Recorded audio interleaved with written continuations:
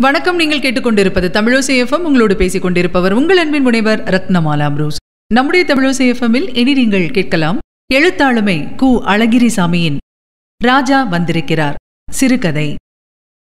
எனக்கு சில்க் சட்டை இருக்கே உனக்கு இருக்கா? என்று கெட்டிக்காரத்தனமாக கேட்டான் ராமசாமி. செல்லையா பதில் சொல்லத் தெரியாமல் விழித்துக் கொண்டிருந்தான். தம்பையா ஆகாயத்தை பார்த்து யோசனை செய்தான். மங்கம்மாள் மூக்கின் மேல் ஆள்காட்டி விரலை வைத்துக் கொண்டும் கண்ணை லேசாக மூடிக்கொண்டும் லேசாக யோசனை செய்தாள். அந்த மூவரும் ராமசாமியின் கேள்விக்கு என்ன பதில் சொல்லப் போகிறார்கள் என்று ஆவலோடு எதிர்பார்த்துக் கொண்டிருந்தார்கள் மற்ற பிள்ளைகள். அன்று பள்ளிக்கூடத்தில் இருக்கும்போது ராமசாமிக்கும் செல்லையாவுக்கும் இடையே ஒரு போட்டி நடந்தது. ராமசாமி தன் ஐந்தாம் வகுப்பிற்குரிய இந்திய தேச சரித்திர புத்தகத்தை எடுத்து வைத்துக் கொண்டான். செல்லையா அந்த வருடம் இந்திய தேச சரித்திரம் வாங்கவில்லை. அதனால் தன்னிடமுள்ள ஒரு சிவிக்ஸ் புத்தகத்தை எடுத்து வைத்துக் கொண்டான். இருவரும் படப்போட்டியை ஆரம்பித்து விட்டார்கள். ராமசாமி தன் புத்தகத்தை முதலிலிருந்து ஒவ்வொரு தாளாக திருப்புவான். படம் இருக்கும் பக்கத்தை செல்லையாவுக்கு காட்டி இதோ இந்த படத்துக்கு பதில் படம் காட்டு என்பான். செல்லையா தன் புத்தகத்தை திறந்து அதில் உள்ள ஒரு படத்தை காட்டுவான். பிறகு இருவருமே புத்தகத்தை பக்கம் பக்கமாக புரட்டுவார்கள். யாராவது ஒருவருடைய புத்தகத்தில் அடுத்தபடியாக படம் வரும். உடனே அந்த படத்துக்கு அடுத்தவன் பதில் படம் காட்ட வேண்டும். இவ்விதமாக பதிலுக்கு பதில் படம் காட்டிய வண்ணம் புத்தகம் முழுவதையும் புரட்டுவார்கள். எவன் புத்தகத்தில் அதிக படங்கள் இருக்கின்றனவோ அவன் ஜெயித்து விடுவான் மற்றவன் தோற்றுப் போவான். உடனே ஜெயித்தவன் உனக்கு படம் காட்ட முடியல தோத்து போயிட்டியே என்று பரிகாசம் செய்வான். இந்த மாதிரியான படப்போட்டிதான் அன்றும் நடந்து கொண்டிருந்தது. போட்டி பாதியில் நிற்கிறது. அந்த சமயத்தில் ஐந்தாம் வகுப்பு கணக்கு வாத்தியார் வந்துவிட்டார். அந்த கணக்கு வாத்தியார் மிகவும் கெடுபிடியானவர். அவர் வகுப்பில் பையன்கள் வெளியே தெரியாமல் விளையாடிக் கொண்டிருக்க முடியாது. தவிரவும் கணக்கு போடும்போது பென்சிலும் கையுமாக இருக்க வேண்டும். இதில் படப்போட்டி நடத்துவது எப்படி? வாத்தியார் வந்ததும் இவர்களுடைய போட்டியும் நின்றுவிட்டது. கடைசியில் சாயங்காலம் பள்ளிக்கூடம் விட்டு வெளியே வந்த பிறகு ஒரு வேப்ப மரத்தின் அடியில் நின்று இருவரும் அந்த போட்டியை நடத்தினார்கள். ராமசாமியின் சரித்திர புத்தகத்தில் பாதிதான் தாண்டியிருக்கும். ஆனால் செல்லையாவின் சிவிக்ஸ் புத்தகம் முடிந்துவிட்டது. செல்லையா தோற்றுப் போய்விட்டான். பக்கத்தில் நின்ற பிள்ளைகள் அவனை கேலி செய்தார்கள். தங்கள் அண்ணன் தோற்றுப்போனதைக் கண்டு தம்பையாவுக்கும் மங்கம்மாளுக்கும் சொல்ல முடியாத வருத்தம். அந்த இடத்தை விட்டு எல்லோரும் வீட்டுக்கு போக புறப்பட்டார்கள். நடந்து செல்லும் போதே படப்போட்டி வேறொரு அவதாரம் எடுக்கத் தொடங்கியது. எங்கள் வீட்டில் அது இருக்கே உங்கள் வீட்டில் இருக்கா? என்று இருவரும் ஒருவரிடம் ஒருவர் கேட்க ஆரம்பித்தனர். இந்த புது போட்டியின் கடைசி பகுதியில்தான் ராமசாமி. எனக்கு சில்க் சட்டை இருக்கே உனக்கு இருக்கா? என்று கேட்டான். வேப்ப மரத்தை விட்டு அரை பர்லாங் தூரத்திலுள்ள பார்வதி அம்மன் கோவில் பக்கமாக வந்தாய்விட்டது. இன்னும் செல்லையாவோ தம்பையாவோ ராமசாமிக்கு பதில் சொல்லவில்லை. ஆனால் மங்கம்மாள் திடீரென்று எல்லோரையும் இடித்து தள்ளிக்கொண்டு ராமசாமியின் முன்னால் வந்து நின்றாள். குழந்தைகள் எல்லோரும் மங்கம்மாவையே கவனித்துக் கொண்டிருந்தார்கள். அவள் ரேகி சாஸ்திரியிடம் காட்டுவது போல கையை வைத்துக்கொண்டு ஐயோ சில்க் சட்டை எதுக்கா? ஹம் லேசா சருகு மாதிரி இருக்கும். சீக்கிரம் கிழிஞ்சு போகும். இதுதான் கனமா இருக்கு. ரொம்ப நாளைக்கு கிழியாம இருக்கும். நல்லா பாரு. செல்லையாவின் சட்டையை காட்டி மிக மிக பரிகாசமாக சொல்லிவிட்டு செல்லையாவின் பக்கத்தில் வந்து நின்றாள் மங்கம்மாள். ராமசாமி திகைத்து நின்று விட்டான். முதல் வகுப்பில் படிக்கும் மங்கம்மாள் ஐந்தாம் வகுப்பில் படிக்கும் தன்னை இப்படி தோற்கடித்து விட்டாளே என்று சங்கடப்பட்டான். பிள்ளைகள் ராமசாமியை பார்த்து தோத்து போயிட்டியா? என்று ஏளனம் பண்ணினார்கள். மங்கம்மாள் செல்லையாவின் சட்டையை பிடித்துக்கொண்டு அவனை ஒட்டி உரசி நின்று கொண்டாள். நடக்கும்போதும் அப்படியே நடந்து வந்தாள். அவள் மனதிற்குள்ளே ஒரு பெருமிதம். ராமசாமி அடுத்து கேள்வியை போட்டான். எங்கள் வீட்டில ஆறு பசு இருக்கு. உங்க வீட்டில இருக்கா? இதற்கு செல்லையா பதில் சொல்லவில்லை. மங்கம்மாளும் பதில் சொல்லவில்லை. தம்பையா? இவங்க தான் பணக்காரரா. அதுதான் ரொம்ப பெருமை. பெருமை பித்திக்கலாம். என்று சொல்லி நிலைமையை சமாளிக்க முயன்றான். அது முடியவில்லை. அந்த சமயத்தில் செல்லையா? அது சரி. எங்க வீட்ல ஒன்பது கோழி இருக்கு. உங்க வீட்ல இருக்கா? என்று ஒரு போடு போட்டான். ராமசாமியும் தயங்கவில்லை. நாங்க உங்களை போல கோழி அடிச்சு சாப்பிட மாட்டோம். நாங்க எதுக்கு கோழி வளர்க்கணும்? அதுதான் எங்க வீட்ல கோழி இல்ல என்றான். அதெல்லாம் சும்மா. ஒன்பது கோழி இருக்கா இல்லையா? என்று ஒரே பிடிவாதமாக கேட்டான் செல்லையா. ராமசாமிக்கு பதில் சொல்ல முடியவில்லையே என்று கூட வருத்தமில்லை. மற்ற பிள்ளைகள் எல்லோரும் ஒன்று கூடிக்கொண்டு அவனை பரிகாசம் செய்வதை அவனால் தாங்க முடியவில்லை. அழுகை வரும் போல இருந்தது. அதனால் எல்லோரையும் விட வேகமாக நடக்க ஆரம்பித்தான். மற்ற பிள்ளைகளும் அதே வேகத்தில் நடந்தார்கள். சிறு குழந்தையாக இருக்கும் மங்கம்மாள் அதே வேகத்தில் நடக்க முடியாது. அதனால் ஓடினாள். சிற்சில குழந்தைகள் தங்கள் தங்கள் வீட்டுக்கு நேராக வந்த மாத்திரத்தில் கூட்டத்திலிருந்து விலகி வீட்டுக்கு போய்விட்டார்கள். கூட்டம் குறைய குறைய ராமசாமியின் அவமானமும் குறைந்து கொண்டு வந்தது. மேல தெருவுக்குள் நுழையும் போது ராமசாமியும் அவனுடைய எதிர்க்கட்சியை சேர்ந்த மூவரும் தான் மிஞ்சினார்கள். ஏனென்றால் அந்த குக்கிராமத்து பள்ளி பிள்ளைகளில் இவர்களுடைய வீடுகள்தான் மேல தெருவில் இருந்தன. ராமசாமியின் வீடு முதலாவதாக வந்தது. தப்பித்தோம் பிழைத்தோம் என்று வீட்டுக்குள்ளே பாய்ந்தான் ராமசாமி. உடனே வீதியில் நின்ற அந்த மூவரும் தோத்தோ நாயே என்று திரும்ப திரும்ப சொல்லிக் கொண்டும் கையால் சொடுக்கு போட்டுக் கொண்டும் நின்றார்கள். அப்போது வீட்டுக்குள்ளிருந்து ஒரு மீசைக்காரன் தலைப்பாக்கட்டுடன் வெளியே வந்தான். அவன் ராமசாமியின் வீட்டு வேலைக்காரர்களில் ஒருவன். குழந்தைகள் மூவரும் கிழிந்து போன அழுக்கு துணியுடனும் பரட்டை தலையுடனும் தெருவில் நின்று ஒரே குரலில் தோத்தோ நாயே என்று சொல்வதை பார்த்து சி கழுதைகளா போறிகளா? என்னமும் வேணுமா? என்று அதட்டினான். மூன்று பேரும் நாலு கால் பாய்ச்சலில் ஓடிவிட்டார்கள். அவர்கள் போன பிறகு பிச்சைக்கார கழுதை தோத்தோ நாயே கழுதை என்று தனக்குத்தானே எகத்தாளமாக சொல்லிக் கொண்டு தன் வேலையை கவனிக்கப் போனான். செல்லையா தம்பையா மங்கம்மாள் மூன்று பேரும் நெஞ்சோடு புத்தகக் கட்டுக்களை அணைத்துக் கொண்டு வீடு சேரும்போது அவர்களுடைய தாயார் தாயம்மாள் வாசல் பெருக்கி தண்ணீர் தெளித்துக் கொண்டிருந்தாள். மங்கம்மாள் ஒரே ஓட்டமாக ஓடி அம்மா! என்று தாயம்மாளை பின்புறமாக கட்டிக்கொண்டாள் குனிந்து வாசல் தெளித்துக் கொண்டிருந்த தாய் செல்லமாக ஐயோ இது என்னடா இது? என்று முகத்தை சுளித்துக் கொண்டு அழுவது போல சிரித்தாள். அம்மா அழுவதைக் கண்டு மங்கம்மாளுக்கு அடக்க முடியாத சிரிப்பு வந்தது. ஐயா வந்துட்டாரா அம்மா? என்று தம்பையா கேட்டான். அப்பாவைத்தான் ஐயா என்று அந்த கிராமத்து பிள்ளைகள் குறிப்பிடுவார்கள். வரலையே என்று பொய் சொல்லிவிட்டு பொய்ச் சிரிப்பும் சிரித்தாள் தாயம்மாள். நிஜம்மா? என்று கேட்டான் தம்பையா. நிஜமாதான் என்று சொன்னாள் தாயம்மாள். அப்புறம் சிரித்தாள். மங்கம்மாள் விறுவிறுவென்று அம்மாவுக்கு முன்னால் வந்து நின்றாள். வலது கையிலிருந்து புத்தகக் கட்டை இடது கையில் இடுக்கிக் கொண்டாள். வலது கையின் ஆள்காட்டி விரலை மூக்கின் மேலும் புருவங்களுக்கு மத்தியிலும் வைத்துக்கொண்டு முகத்தையும் ஒரு பக்கமாக திருப்பிக் கொண்டு அம்மா எனக்கு தெரிஞ்சு போச்சு. நீ பொய் சொல்ற. ஐயா வந்துட்டாரு. என்று நீட்டி நீட்டி சொன்னாள். தாயம்மாளுக்கு ஆனந்தம் தாங்க முடியவில்லை. பல்லை இறுக கட்டிக்கொண்டு போக்கிரி பொண்ணு என்று மங்கம்மாளின் கன்னத்தை கிள்ளினாள். செல்லையா மிகவும் ஆழமான குரலில் ஐயா வரலையாமா என்று கேட்டான். அவன் குரலில் சோகம் ததும்பி ஏமாற்றம் இளையோடி இருந்தது.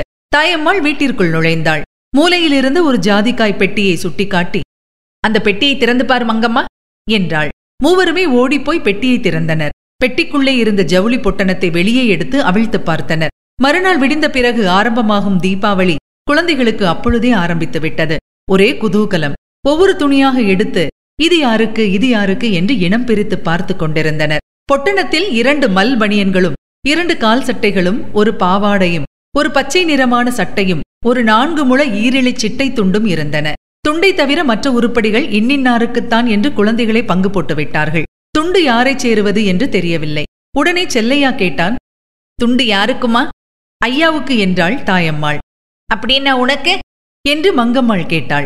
தாயம்மாள் சிரித்துக்கொண்டு எனக்குத்தான் ரெண்டு சீலை இருக்கே இன்னும் எதுக்கு? எல்லோரும் புது துணி எடுக்க நாம் என்ன பணக்காரரா? ஐயாவுக்கு மட்டும் பிறகு புது துண்டு எதுக்காம்? என்றாள் மங்கம்மா. வாயாடி வாயாடி ஐயாவுக்கு ஒரு துண்டு கூட இல்ல. துண்டு இல்லாம எத்தனை நாளைக்கு பழைய வேட்டியை உடம்புல போட்டுக்கிட்டு அலையிறது? என்று சொல்லிவிட்டு மங்கம்மாளை தூக்கி மடியில் வைத்துக் கொண்டாள் தாய். அந்தி மயங்கி இருட்டத் தொடங்கியது. விளக்கேற்றுவதற்காக தாயம்மாள் எழுந்தாள். விளக்கேற்றிவிட்டு குழந்தைகளை வெந்நீரில் குளிப்பாட்டி விட்டாள். ஐப்பசி மாதமானதால் அநேகமாக நாள் தவறாமல் மழை பெய்திருந்தது. பூமி குளிர்ந்து ஜில்லிட்டு விட்டது. காற்றும் ஈரக்காற்று. இதனால் வெந்நீரில் குளித்துவிட்டு வந்த குழந்தைகளை ஈரவாடை அதிக வேகத்துடன் தாக்கியது. எல்லோரும் குடுகுடு என்று முற்றத்திலிருந்து வீட்டுக்குள்ளே ஓடி வந்து விட்டார்கள்.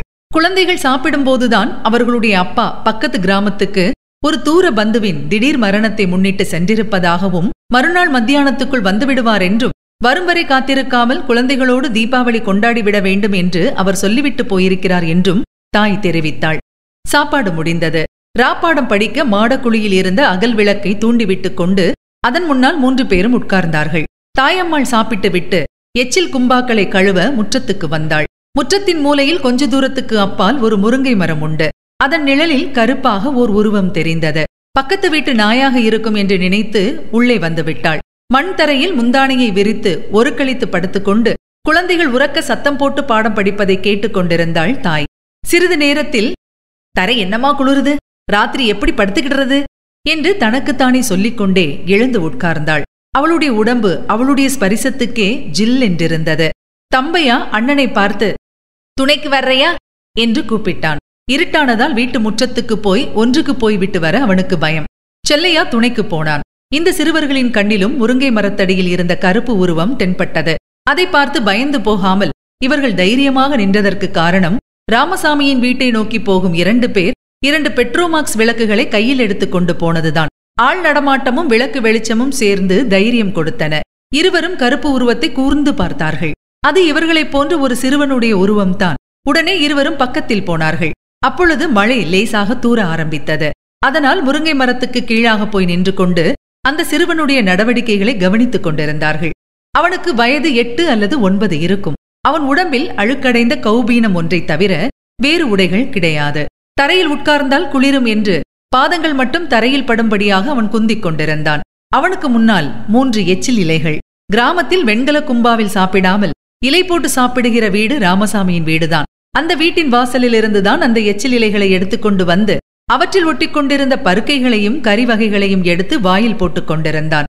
செல்லையாவோ தம்பையாவோ ஒன்றும் சொல்லாமல் பார்த்து கொண்டே நின்றார்கள். ஏற்கனவே யாரோ கடித்து சுவைத்து துப்பிய முருங்கைக்காய் சக்கைகளில் ஒன்றை இலையிலிருந்து எடுத்தான் சிறுவன். அதை இரண்டாம் தடவையாக கடிக்க ஆரம்பித்தான்.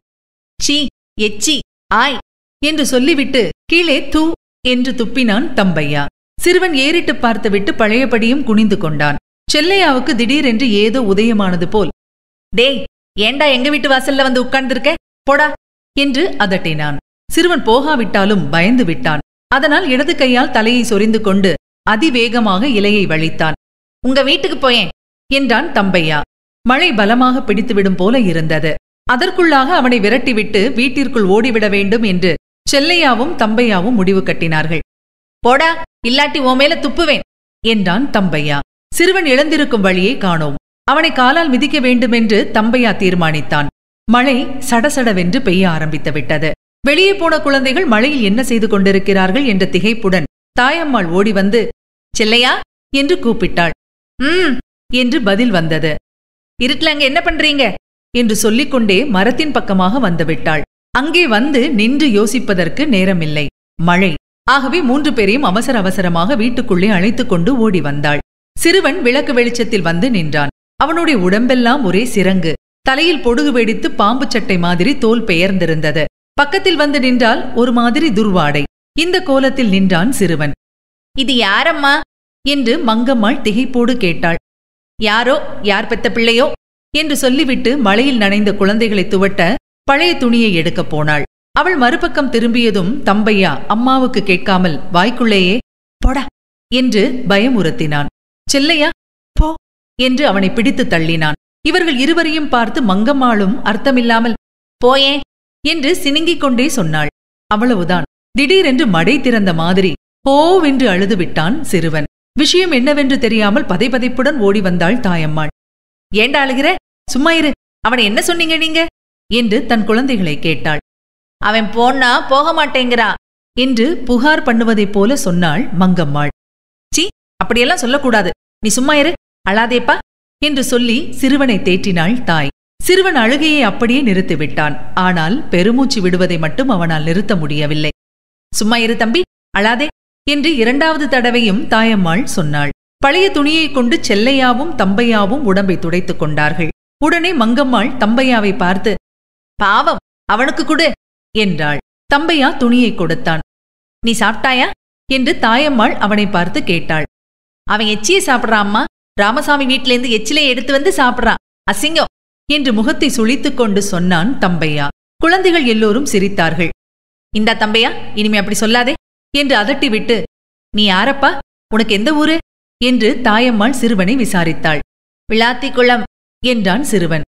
உனக்கு தாய் தகப்பன் இல்லையா? இல்லை. இல்லையா? என்று அழுத்தி கேட்டாள் தாயம்மாள். ம் செத்து போயிட்டாக. எப்போ தம்பி? போன வருஷம் அம்மா செத்து போயிட்டா. ஐயா நான் சின்ன பிள்ளையா இருக்கும்போதே செத்து போயிட்டாரா? உனக்கு அண்ணா தம்பி ஒருத்தரும் இல்லையா? இல்லை. உடனே தம்பையா கேட்டான். தங்கச்சியும் இல்லையா? இல்லை. பாவம் என்று சொல்லிவிட்டு தம்பையா நிறுத்திக் கொண்டான். இங்கே எதுக்கு வந்தே? என்று தாயம்மாள் கேட்டாள். கழுகுமலைக்கு போறேன். அங்கே யார் இருக்கா? அத்தை. என்று பதில் சொன்னான் சிறுவன். அவன் விளாத்தி குளத்திலிருந்து கால்நடையாகவே நடந்து அந்த கிராமம் வரையிலும் வந்திருந்தான். இந்த இருபது மைல் பிரயாணத்துக்கு நான்கு நாட்கள் ஆகிவிட்டன. நான்காவது தினத்தில்தான் இந்த கிராமத்தில் வந்து தங்க நேர்ந்தது. அதுவும் பொழுது இருட்டிவிட்டதனாலும் பசி இருந்ததனாலும் தான். மறுநாள் விடிந்த பிறகு எட்டு மைல் தூரம் நடந்து கழுகுமலைக்கு போனால் அவனுடைய அத்தை தன் வீட்டில் அவனை வைத்துக் கொள்ளுவாளா விரட்டி விடுவாளா என்பது அவனுக்கு தெரியாது. அத்தையையும் அவன் பார்த்ததில்லை. எப்படியோ ஒரு வழியில் அவனுக்கு அவள் அத்தை என்றும் அங்கே போ என்றும் யாரோ சொல்ல அதை நம்பிக்கொண்டு அந்த சிறுவன் விளாத்தி குளத்திலிருந்து கால்நடையாகவே நடந்து வந்திருக்கிறான். மேற்கண்ட விவரங்களை எல்லாம் சிறுவனுடைய வாய்மொழி மூலமாகவே தாயம்மாள் அறிந்து கொண்டாள். உன் பேர் என்ன? என்று கடைசியாக கேட்டாள் தாயம்மாள். ராஜா என்றான் சிறுவன். அப்புறம் அவனுக்கு சாப்பாடு போட்டார்கள். அவன் சாப்பிட்ட பிறகு குழந்தைகளுக்கு படுக்கையை எடுத்து விரித்தாள். மண்தரை ஈர சதசதப்புடன் இருந்ததால் வெறும் ஓலைப்பாயை விரித்து படுப்பதற்கு இயலாமல் இருந்தது. அதனால் கிழிந்து போய் கிடந்த மூன்று கோணிப்பைகளை எடுத்து உதறி விரித்து அதன் மேல் வீட்டிலிருந்த இரண்டு ஓலைப்பைகளையும் பக்கம் பக்கமாக விரித்தாள். ராஜா தெற்கு கோடியில் படுத்துக் கொண்டான். அவனுக்கு பக்கமாக செல்லையாவும் அப்புறம் தம்பையாவும் படுத்துக் கொண்டார்கள். தம்பையாவின் உடம்பு இரண்டு பாய்களிலுமே பாதி பாதி படிந்திருந்தது. வடகோடியில் தாயம்மாளும் மங்கம்மாளும் படுத்துக் கொண்டார்கள். எங்கோ தூரத்தில் ஒரு வீட்டில் சீனி வெடி வெடிக்கும் சப்தம் கேட்டது. தீபாவளி மறுநாள் ஆனாலும் யாரோ ஒரு துருதுருத்த பையன் அப்பொழுதே வேட்டு போட ஆரம்பித்து விட்டான். வேட்டுச் சத்தம் கேட்டதும் எனக்கு மத்தாப்பு என்றாள் மங்கம்மாள். எனக்கும் என்றான் தம்பையா. நம்மகிட்ட அதுக்கெல்லாம் பணம் ஏது மங்கம்மா?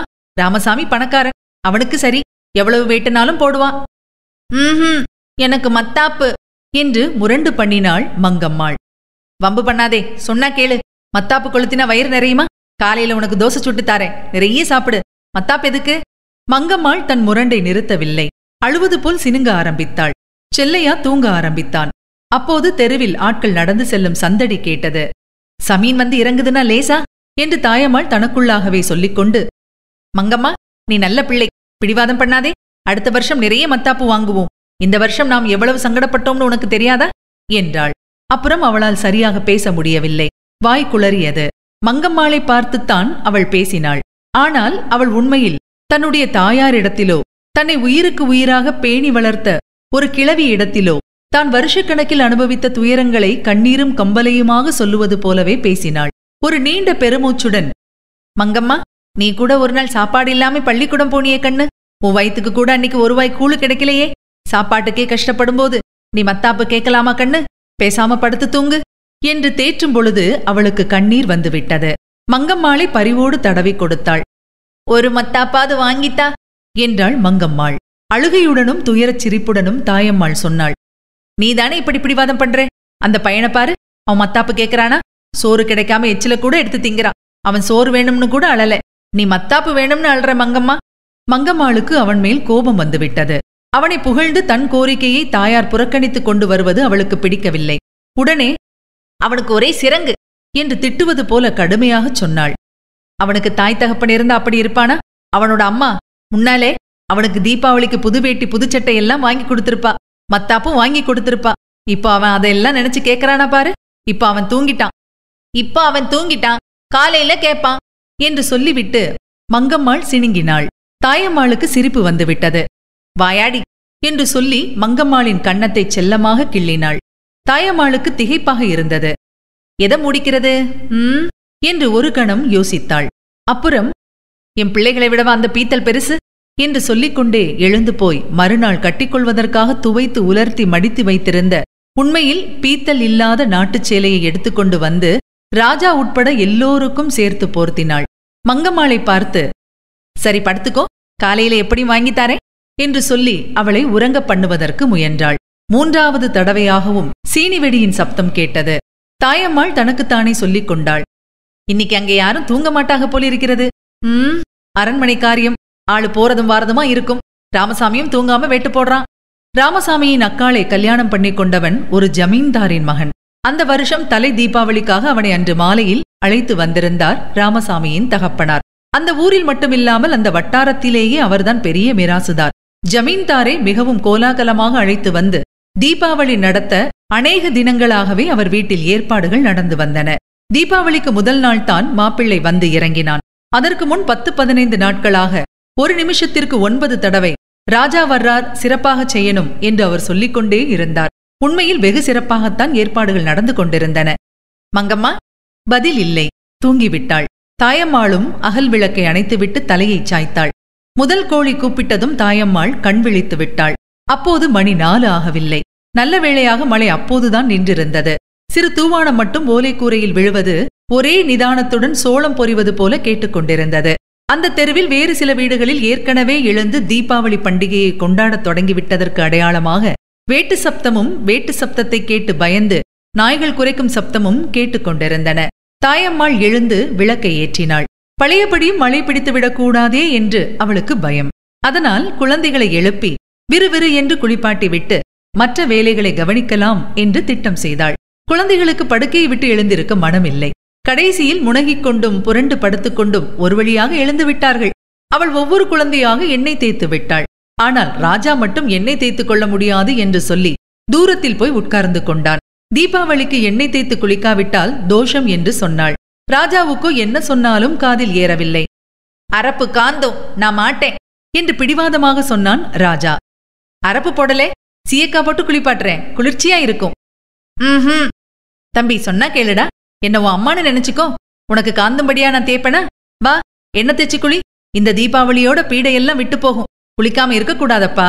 இப்படி வெகு நேரம் கெஞ்சிய பிறகுதான் அவன் வேறு வழி இல்லாமல் சம்மதித்தான். ராஜா எழுந்து வந்து மனையில் உட்கார்ந்தான். அதுதான் நல்ல பிள்ளைக்கு அடையாளம். ஒரு பிள்ளைக்கு தேய்ச்சி ஒரு பிள்ளைக்கு தேய்க்காம விடலாமா? என் பிள்ளைக்குட்டியே நல்லா இருக்கணுமில்லப்பா. என்று மற்றவர்களுக்கு சொல்லுவது போல தனக்குத்தானே சொல்லிக்கொண்டே எண்ணெய் தேய்த்தாள். தாயில்லா குழந்தைனா இந்த கோலம்தான். நான் மூணாம் வருஷம் காய்ச்சலோட படுத்திருந்தேனே அப்ப கண்ண மூடியிருந்தா என் குழந்தைகளுக்கும் இந்த கதிதானே அதுகளும் தெருவிலே நின்னிருக்கும். இப்படி என்னென்னவோ மனதுக்குள் நினைத்துக்கொண்டு அவசர அவசரமாக குழந்தைகளை குளிப்பாட்டினாள். ஆனால் தாயம்மாள் பயபத்திரமாக சீயக்காய் தூளை போட்டு தேய்த்த போதிலும் ராஜா பல தடவைகள் ஐயோ ஐயோ என்று அழுது விட்டான் அவன் அழும்போதெல்லாம் அவள் இன்னைக்கோட உன் சிறங்கு குணமாயிரும் என்று மட்டும் மாறி மாறி சொல்லிக்கொண்டே இருந்தாள். யாரோ எவரோ மழைன்னு வந்து வீட்ல ஒதுங்கிட்டான். அவனை போக சொல்ல முடியுமா? அவன் வந்த நேரம் தீபாவளியா போச்சு. குழந்தைகளுக்குள்ளே வஞ்சம் செய்யலாமா? பாக்குறவர்களுக்கு நான் செய்யறதெல்லாம் கேலியா இருக்கும். அவங்க கேலி செய்தா செய்துட்டு போட்டும். எனக்கும் என் குழந்தைகளுக்கும் பகவான் துணை செய்வான். அவள் தோசை சுட்டுக் கொடுத்தாள். அவளுடைய குழந்தைகள் புது துணி உடுத்திக் கொள்ள வேண்டும் என்ற ஆவலினால் அவசர அவசரமாக சாப்பிட்டார்கள். தம்பையா கடைசி தோசையை பாதியிலேயே வைத்துவிட்டு எழுந்து விட்டான் அவனால் மேற்கொண்டும் இரண்டு தோசைகள் சாப்பிட முடியும். இருந்தாலும் அவசரம். தெருவில் ஜன நடமாட்டம் தொடங்கிவிட்டது. மழையும் பரிபூரணமாக நின்றுவிட்டது. உதயத்தின் ஒளி சல்லா துணியைப் போல அவ்வளவு மெல்லியதாக ஊரையும் உலகத்தையும் போர்த்தியது. புது துணிகளுக்கு மஞ்சள் வைத்து செல்லையாவும் உடுத்துக்கொண்டான் தம்பையாவும் உடுத்துக்கொண்டான். மங்கம்மாளும் பாவாடையும் சட்டையும் போட்டுக்கொண்டாள். அவன் கௌபீனத்தோடு நின்றான். தாயம்மாளுக்கு பகீர் என்றது. இத்தனையும் செய்தும் புண்ணியமில்லாமல் போய்விட்டதே என்று கலங்கினாள். இந்த மாதிரியான ஒரு கட்டத்தை அவள் எதிர்பார்க்கவே இல்லை. சிட்டை துண்டை எடுத்துக் கொடுப்பதா? கொடுக்காமல் இருப்பதா? அவள் மனதுக்குள்ளே வேதனை மிக்க போராட்டம். மாதக்கணக்கில் ஒரு ரூபாய் துண்டு இல்லாமல் அவளுடைய கணவன் பட்ட கஷ்டத்தையும் வீதி வழி போவதற்கு கூசியதையும் ஒரு துண்டு வாங்க வழி இல்லையே என்று கணவன் துயரத்துடன் வாய்விட்டு புலம்பியதையும் நினைத்துப் பார்த்தாள். இந்த துயரத்தின் எதிர்ப்புறத்தில் ஒன்றும் சொல்லாமல் ஒன்றும் செய்யாமல் மௌனமாக நின்று கொண்டிருந்தான் ராஜா. தாயம்மாளுக்கு திக்கு திசை தெரியவில்லை. ராஜாவின் முகத்தை எதற்கோ ஒருமுறை ஏறிட்டு பார்த்தாள். ராஜாவோ வெகுநேரமாக கண்கொட்டாமல் அவளையே பார்த்த வண்ணம் நின்று கொண்டிருந்தான். என்ன சோதிக்கத்தான் வந்திருக்கேடா நீ? என்று மனக்கசப்புடன் சொல்வது போல சொன்னாள் தாயம்மாள். ஆனால் அவளுக்கும் மனக்கசப்புக்கும் வெகு தூரம். மனதுக்குள் ஏற்பட்ட சிக்கல்களை விடுவிக்கவே இப்படிப்பட்ட ஒரு வாசகத்தை அவள் தூக்கி போட்டாளே ஒழிய அவள் சொற்களில் மனக்கசப்பின் நிழல் கூட படியவில்லை. அப்போது மங்கம்மாள் எழுந்து வந்து அம்மாவின் கன்னங்களில் தன் உள்ளங்கைகளை வைத்து தன் முகத்துக்கு நேராக அவளுடைய முகத்தை திருப்பினாள். அப்புறம் ஏதோ ரகசியத்தை சொல்லுவது போல சொன்னாள். பாவம் அவனுக்கு அந்த துண்டக்குடு அம்மா.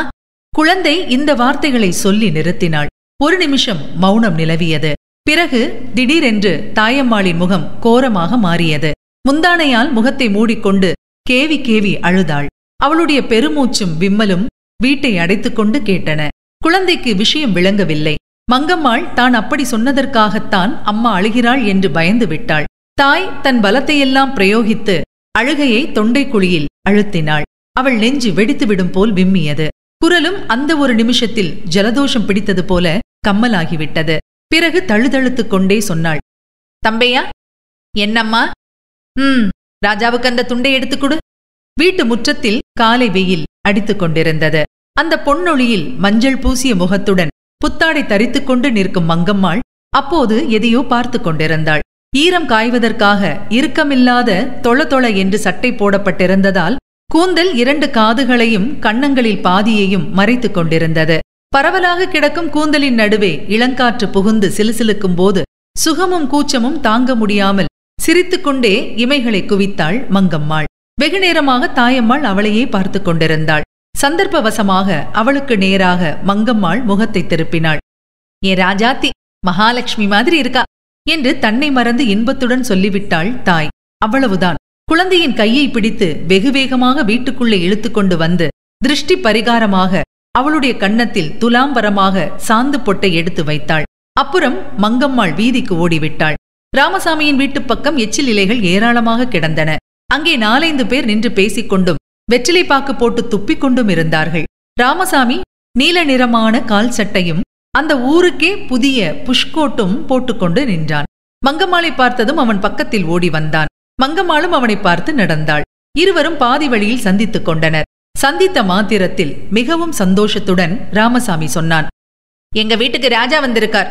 ஊர்க்காரர்களைப் போல அவனும் தன் அக்காள் புருஷனை ராஜா என்று சொன்னான்.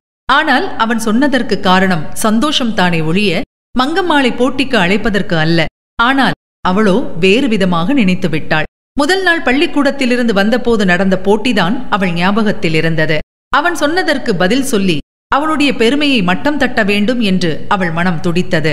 அதனால் ஒரு அரை அடி முன்னால் நகர்ந்து வந்து நின்றாள். யாதொரு திகைப்பும் தயக்கமும் இல்லாமல் ராமசாமியை பார்த்து ரேகை சாஸ்திரியிடம் காட்டுவது போல கையை வைத்துக்கொண்டு மிக மிக ஏளனமாகச் சொன்னாள். ஐயோ உங்க வீட்டுக்கு தானா ராஜா வந்திருக்க? எங்க வீட்டுக்கும் தான் ராஜா வந்திருக்கார். வேணும்னா வந்து பாரு. இதுவரை நீங்கள் கேட்டது எழுத்தாளுமை கு. அழகிரிசாமியின் ராஜா வந்திருக்கிறார். வழங்கியவர் உங்கள் அன்பின் முனைவர் ரத்னமாலா புரூஸ். மீண்டும் மற்றொரு எழுத்தாளுமையின் சிறுகதையோடு உங்களை சந்திக்கலாம். இணைந்திருங்கள் மகிழ்ந்திருங்கள். இது உங்கள் தமிழோசை எஃப்எம் இது எட்டு திக்கும் எதிரொலிக்கட்டும்.